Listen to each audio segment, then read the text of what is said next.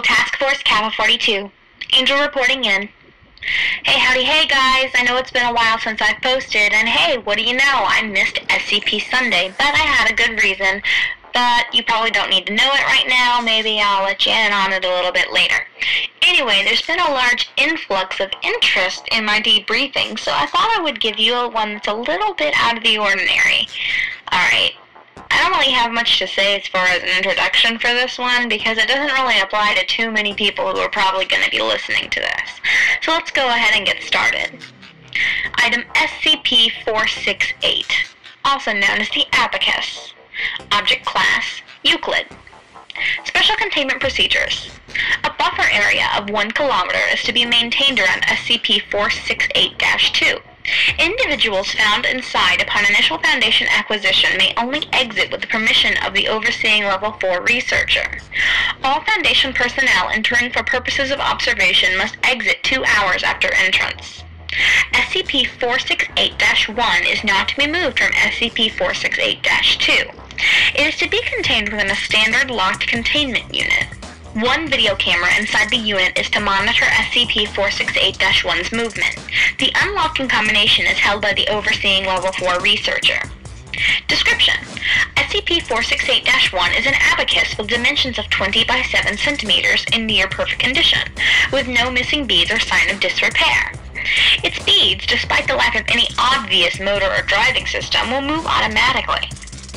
Periods of movement are interspersed by periods of rest, 3 to 5 hours. SCP-468-1's beads will often perform basic arithmetic operations, though this is not always the case. SCP-468-2 is a former farming village located in the Chinese province of Jiangsu, with an area of about 2.3 square kilometers. It is presumed that the previous owner of SCP-468-1 lived within this village. Research Site 113, which houses all personnel assigned to 468, is located 3 kilometers from 468-2. Roads, houses, and other sufficiently large man-made structures inside 468-2 will shift their positions as SCP-468-1 itself moves. Movements invariably results in the formation of geometric patterns. Usually, roads lined with houses will move to form rows and columns. Other patterns that have been observed include basic circular and triangular patterns. Researchers have recorded a relation between arithmetical operations done by SCP-468-1 and the movement of SCP-468-2. For example, SCP-468-1 moving to multiply 10 and 32 resulted in a 10 by 32 grid pattern, with outlying houses forming a perimeter around the residuant grid. All sufficiently large animals, including horses, dogs, cats, and human beings within SCP-468-2 are subject to its effects. During periods of SCP-468-1's arrest, affected subjects will travel between structures. Only SCP-468-2's roads will be used to travel. No two subjects will ever travel in different directions on the same road. The speed of travel is invariably 2.3 meters per second, with one pace taken every 0.6 seconds.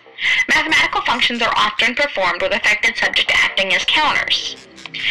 Animals susceptible to SCP-468-2 effects begin to display symptoms 2.5 hours after entry into the village. The initial symptom is all loss of all complex mental functions such as basic coordination, language skills, and reasoning. After three hours inside, instinctive and reflexive actions such as fight or flight response are forgotten. After 3.5 hours, brain activity reduces to an essentially comatose state, and only the knowledge of how to walk is retained. However, only a certain number of affected individuals actually take place in group movement at any given time. If enough subjects are removed from SCP-468-2, such that the number of affected individuals inside is less than 7, all movement will cease.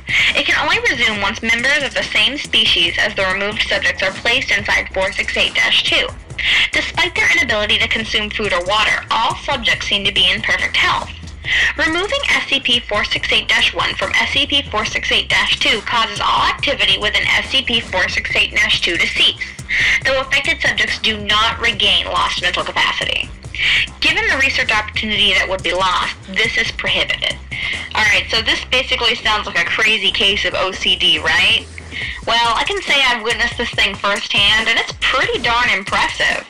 I can't say much about its abilities, because, well, let's face it, I can only disclose so much on the internet. This is the internet, after all. I seem to forget that sometimes. Doc keeps reminding me, but who listens to Doc anyway? Anyway, I'm gonna go to bed because I'm finally starting to feel healthy again, and I don't really want to mess that up. Doc gave me some kind of painkillers, and um, I'm feeling kind of snazzy. So I'm gonna go catch some Z's, and you guys stay safe, stay alert, and stay in line.